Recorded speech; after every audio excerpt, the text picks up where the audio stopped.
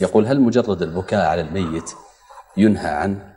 لأن كثيرا من الناس يبكون على موت أقاربهم وأحبابهم.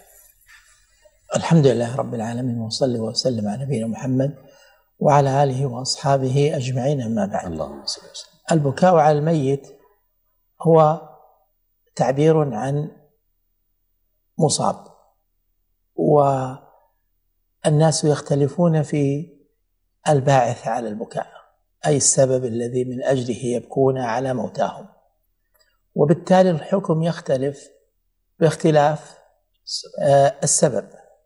فمن بكى على الميت رحمة للميت رحمة بالميت أنه انقطع أجله وأنه رهن بعمله وأنه آه، ارتحل عن دار التزود بالتقوى إلى دار المحاسبة على العمل فإنه يؤجر على ذلك. يكون هذا البكاء مما يؤجر عليه.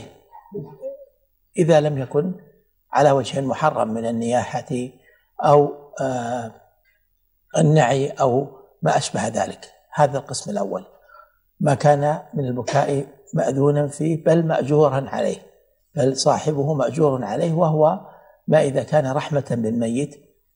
آه، والنوع الثاني من البكاء البكاء الطبيعي الذي يبكي فيه الإنسان لفراق محبوبه لفوات حظه من محبوبه. يبكي على أنه فارق من يحب من والد أو ولد أو والدة أو ابن أو زوج أو زوجة أو محبوب. ففي هذه الحال البكاء لا بأس به وهو ما أشار إليه قوله النبي قول النبي صلى الله عليه وسلم إن العين لتدمع وإن القلب ليحزن ولا نقول إلا ما يرضي ربنا وإن على فراقك يا إبراهيم لمحزونون فهذا البكاء فيما يظهر والله تعالى أعلم من النوع الثاني الذي يبكي فيه الإنسان على فوات حظه مما يحب. فهذا لا حرج فيه ولا إثم على صاحبه. إذا لم يتجاوز حدود الشريعة في البكاء. القسم الثالث من البكاء ما كان مصاحبا بمحرم إما بنياحة وإما بشق جيب وإما بنعي وتحزين وتعظيم للمصيبة وجزع وتسخط. فهذا من كبائر الإثم وعظائم الذنوب وهو محرم ويأثم به صاحبه.